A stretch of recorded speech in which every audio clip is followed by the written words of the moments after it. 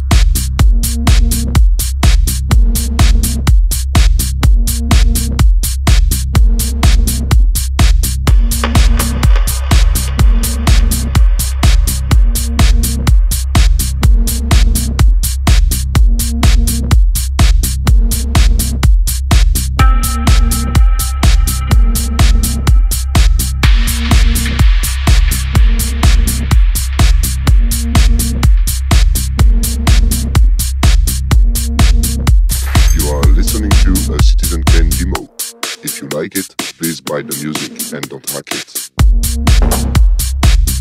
it.